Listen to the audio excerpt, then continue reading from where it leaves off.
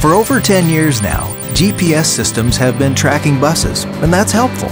But since GPS technology was introduced, new challenges have emerged for school bus fleets, like pressures to cut costs, track students, and reduce downtime. As a result, traditional one-way GPS tracking just isn't enough. To effectively respond to today's needs and prepare for tomorrow's, you need more. Enter mobile intelligence technology from Synovia. It goes beyond basic GPS limitations to enable meaningful two-way communication between the bus, the front office, administration, and payroll. The face of mobile intelligence technology is the Synovia Mobile Terminal.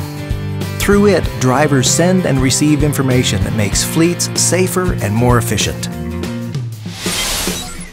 It begins the moment a driver turns the key. The mobile terminal asks for an employee number, employee type, and route type.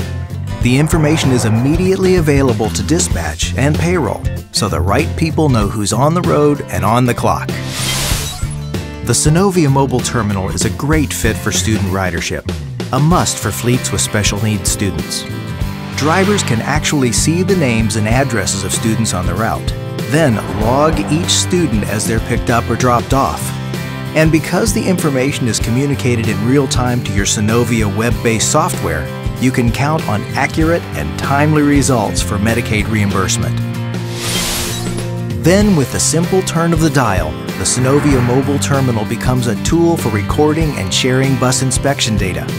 When a driver performs a field inspection, the findings are instantly communicated across the system so garage staff can react faster and administrators can keep more accurate records.